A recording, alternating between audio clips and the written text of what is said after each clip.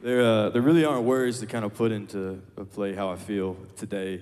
I told my family all day. I said it feels like my like wedding day for country music to step on this stage. And uh, man, you know I'm from Nashville, so I have so many people here tonight that have supported me from day one and been a part of this journey. And uh, so this is really special. Thank you guys for being here and welcoming me to the Grand Ole Opry stage for the first time.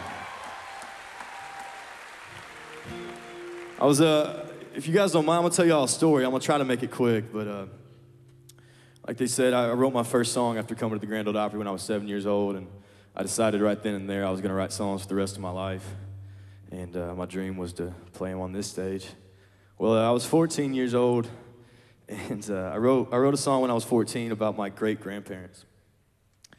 And, uh, and they, uh, they lived in a small town of Crothersville, Crothersville Missouri their whole lives and uh, they got married when they were 15.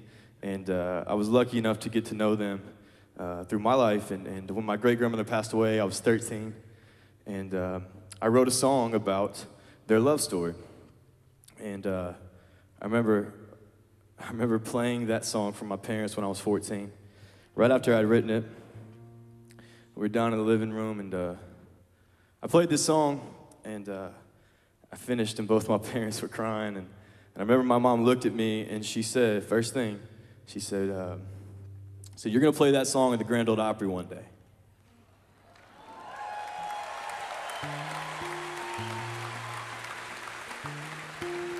So uh, I thought about this moment a lot uh, and uh, how much this means to me. And, and I knew I could get up here, I could play my radio single and whatever the label wants to, you know, put out next.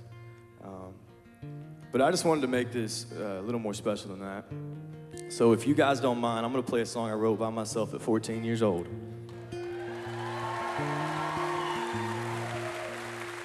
My grandparents, they love the Grand Ole Opry, so uh, I know they're watching uh, up there. But this song is uh, about Peg and Dewey Coomer, and it's called uh, Jesus and Me.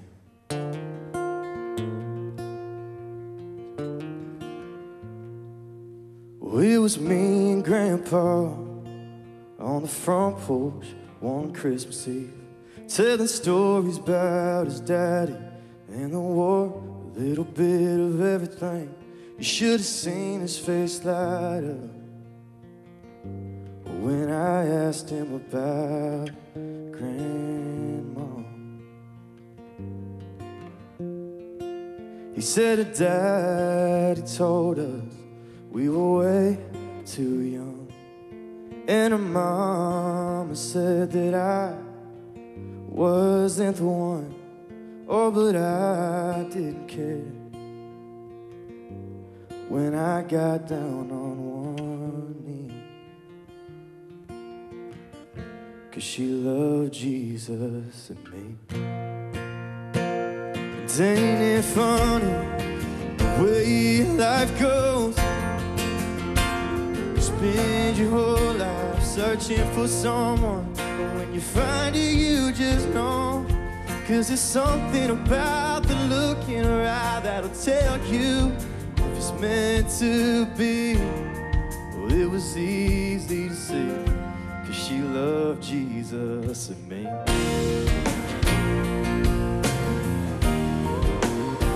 Said I didn't have little I had, I spent on that ring. But I knew that together we could make it through anything. Yeah, we had nothing,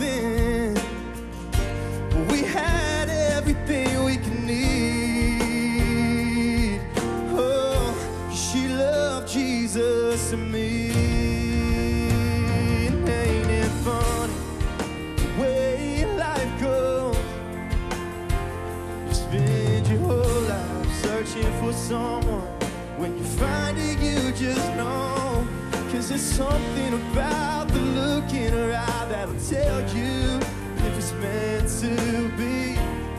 Cause it was easy to see. Cause she loved Jesus and me. He said, Let me tell you, son, when you're searching for the one, you should look for someone who's like your mama. Whether you're 16 or 62, one day she'll find you, and it'll be just how the good Lord planned. Guess ain't it funny the way life goes? You spend your whole life searching for someone when you find that you just know. Cause there's something about the look in her eye that'll tell you it's easy to see. She loved Jesus and me.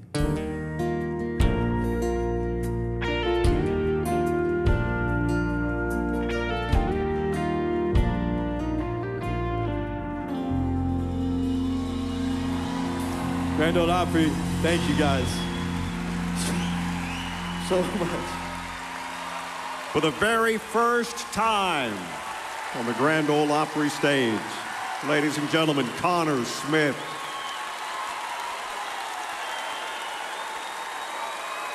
And for those listening, that is the sound of a standing ovation in the Opry House.